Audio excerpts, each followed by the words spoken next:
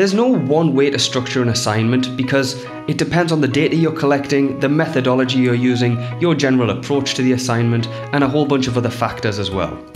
What I'm going to do here is present you with some ideas on how you might structure your assignment, and then you can make the decision on how much of this applies to you.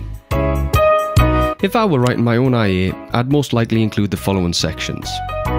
I want to emphasize again, however, that this is just a suggestion, and you don't need to stick to this exactly as it is here.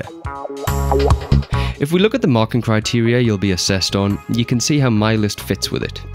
In some places, the assignment sections have the same or similar titles as the marking criteria. Whatever structure you go with, make sure you address all of the marking criteria. It's there in the subject guide, and you should keep it on hand throughout the writing process. The research questions section can be nothing more than your relevant, coherent, focused research question. Within the context section, you should discuss your environmental issue, then explain how your environmental issue and research question are connected. These are required in the Marking criteria, and the bit about connecting your environmental issue and research question is something I often see students skip. It's important and has to be included somewhere. For sampling strategy, you need to discuss the data you will collect, how you will collect it, and why you will collect it in that way. This last step of justifying your sampling strategy is required in the mark scheme, and it's another part that is commonly skipped. The procedure could be a step by step series of instructions on how you carry out your investigation. It's important that you include information on what you intend to do with your data. Basically, how will you get a conclusion from what you've collected? I've often seen procedure sections end with a final step that says something like, finally analyse the data, or plot a graph with the collected information, and then nothing more. This isn't sufficient because how you will analyse the data or how you will use the graphs you plot should be detailed in the procedure. Health and safety should be included. Consider the list of possible hazards, which are the things that could go wrong and harm you or someone else, and the risk or likelihood of each hazard occurring. You should discuss what you will do to prevent or minimise the chances of anyone getting harmed.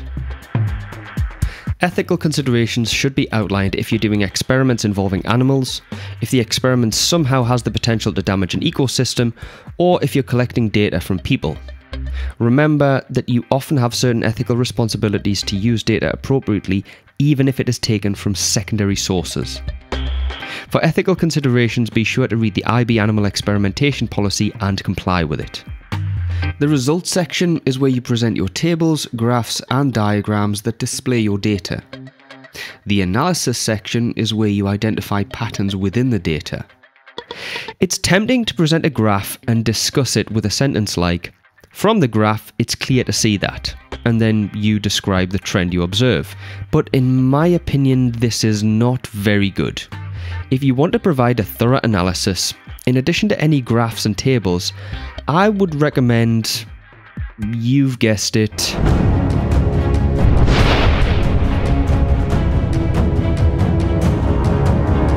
Statistical analyses are a good way to minimize subjective opinions.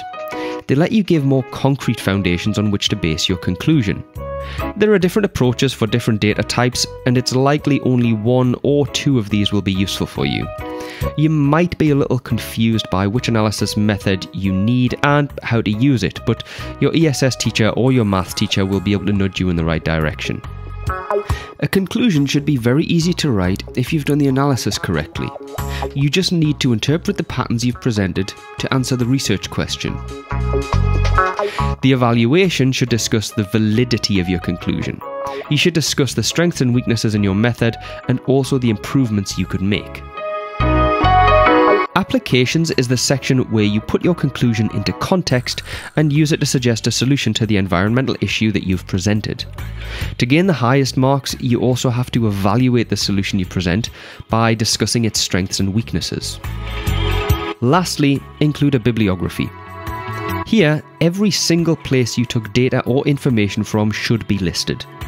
Make sure you start this section at the very beginning of writing your assignment don't leave this part until you've finished because it's really hard to find your sources all over again.